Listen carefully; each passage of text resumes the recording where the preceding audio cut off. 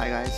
Uh, i'm gonna show you a way through which you can use your 4.1 channel subwoofers with your laptop. Because uh, generally your laptop is uh, not able to uh, produce that much power so that uh, your sub 4.1 channel subwoofer can be easily run.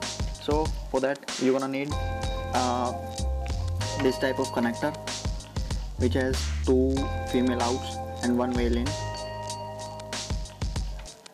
after that uh, you're gonna have a sound card like this.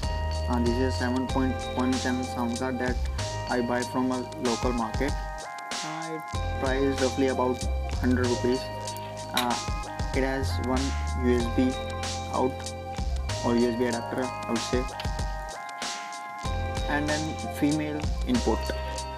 Uh, first you're gonna have to insert both of these in this female jack like this. And after that uh, you're have to uh, insert this male into this female uh, where there is a sign of headphone. Okay? Like this one. All set. Uh, now uh, we just have to insert this in our USB port. Our laptop's USB port. And all done. Let me show you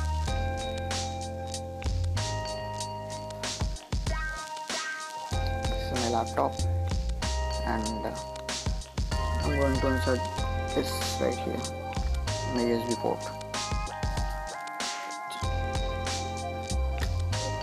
There it is.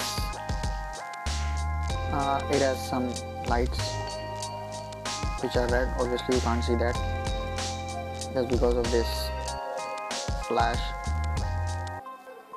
Hope it helps. Thank you